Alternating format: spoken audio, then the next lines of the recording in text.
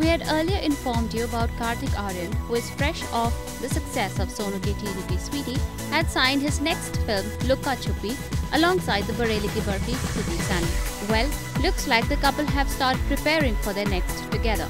A picture from their look test recently went viral, which sees the couple as a bride and groom, thanks to the huge fan base that we got our hands on their Luka Chuppi wedding. Kriti plays a Mathura girl who had gone to Delhi to study and now is back in her hometown. Produced under the banner of Maddock Films, Luka Chuppi will start rolling in August. The film will be helmed by Lakshman Utekar, who was the director of photography of films including Hindi medium. This will be his Bollywood debut as a director. IANS report.